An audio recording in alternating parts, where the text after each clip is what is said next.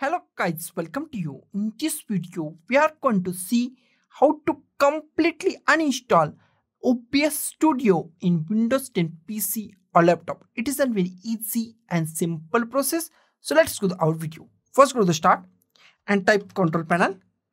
Click on the control panel. In control panel, find programs and features. Click on programs and features. In programs and features, we find our all installed programs. Here find OBS Studio, find OBS Studio and select the OBS Studio.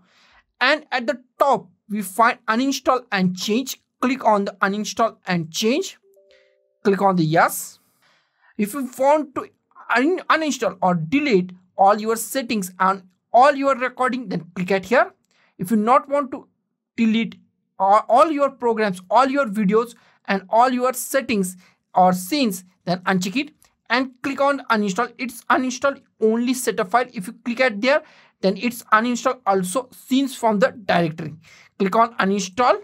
Click on the close.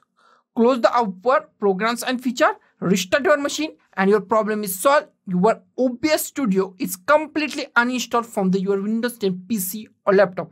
So guys thank you for watching this video. Don't forget to like share comment on this video and don't forget to subscribe the channel thank you guys